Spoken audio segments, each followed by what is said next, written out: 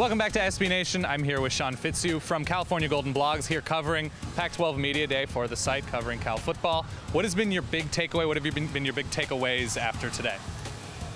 You know, Cal's a little, uh, I'd say, a little underrated this year. They're fourth in the media poll, mm-hmm. and they've got a lot of good pieces coming back this year. We've got uh, 3,000 yard quarterback, 1,000 yard receiver, 1,000 yard rusher. A lot of key components on the defense. The defense is pretty young, but there's a lot of talent there. So right. we're, we're missing, you know, Pac-10 Player of the Year, Mychal Kendricks from last year. We're missing both inside linebackers, both safeties, but there's a lot of good talent there to come there and replace it. What is what is the next step? Obviously, the quarterback position was an up and down place last year. Zach Maynard struggling at times, turning the ball over. Not just him, but multiple guys turning the ball over. Right. So what need what is the immediate fix for Cal to to sort of win the close ones and sort of turn a corner. Yeah, you're hitting on one of the main ideas is turnovers were a big problem last year. We had, I think it was three games where we had five turnovers, and to compete, you just can't have that. Right. Uh, had we not had those turnovers in each of those games, there's probably a good chance we would have won. We held USC to uh, one of their worst offensive outputs of the year. Texas, that game was very close.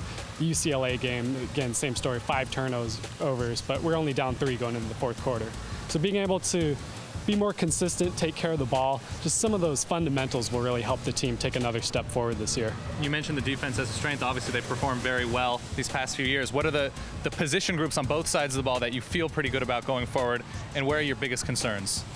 The two where I feel most confident, definitely the defensive line.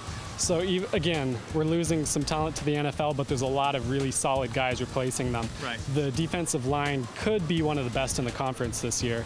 On the other side of the ball, running backs, uh, we got Isi Sofele. He ran for what 1,300 something yards right. last year. C.J. Anderson's backing him up, and actually Anderson might start taking away some carries from Sofele. Anderson right. was coming on really strong late last year. He had a really solid spring, and even at third string, we got Brendan Bigelow. He's a guy. He might remind you a bit more of Jahvid Best from a few years ago. He's very fast, very elusive.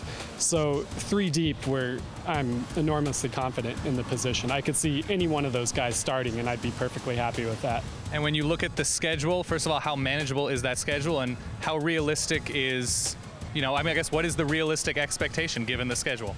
Right. One of the things when you look at the schedule, the two things stand out. We've got all the games in a row, no bye weeks until uh, Thanksgiving weekend, right. and then we've got that back-to-back at Ohio State, at USC besides those two, the schedule is actually pretty manageable. Uh, you look at the top teams in the Pac 12 North Oregon, Washington, Stanford. Cal has them all at home, and we're favorable in that we've got the uh, five home games this year in the conference. In the conference so, yeah, looking at the standings of who's going to finish where in the Pac 12 North. Cal's got a pretty good shot just based on this advantage they've got with the schedule. Lots of home games, lots of uh, home games against the teams they're really going to be competing with. That's Cal Football. That's Sean Fitzhugh, Gold, California Golden Blogs. I get it right. Thank you very much for your time. Yeah. Go you. read California Golden Blogs three times every day. I don't know.